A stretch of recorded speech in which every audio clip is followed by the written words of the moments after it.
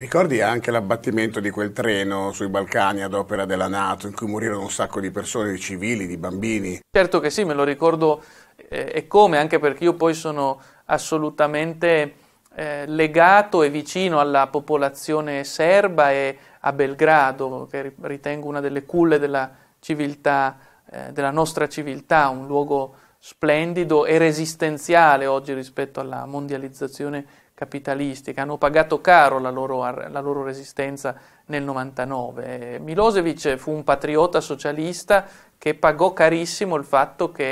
eh, di non essere allineato, ma è lo stesso che sta avvenendo, per cui io ritengo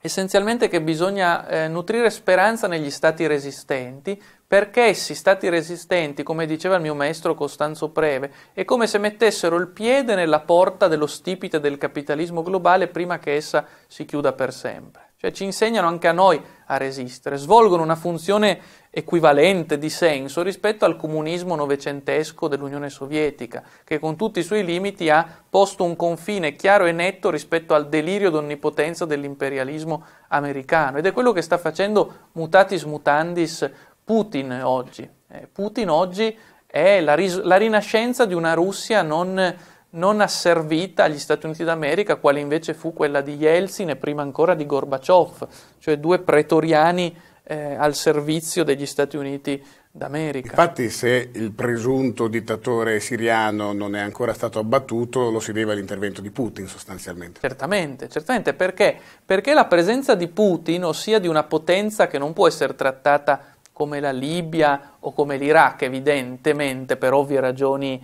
diciamo, di rapporto di forze,